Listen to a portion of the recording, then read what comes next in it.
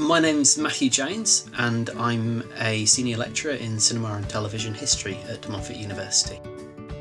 So, I've just finished a three year project with colleagues at uh, University College London where we've collected a thousand people's memories of going to the cinema in the 1960s. So at present, I am devising a large scale immersive theatre reconstruction of a night at the cinema in the 1960s as an attempt to bring the memories that we've collected of that period to life and to invite the public to experience what cinema going in the 60s was like in a way that perhaps they, they couldn't do um, just by reading uh, an account of it on the page.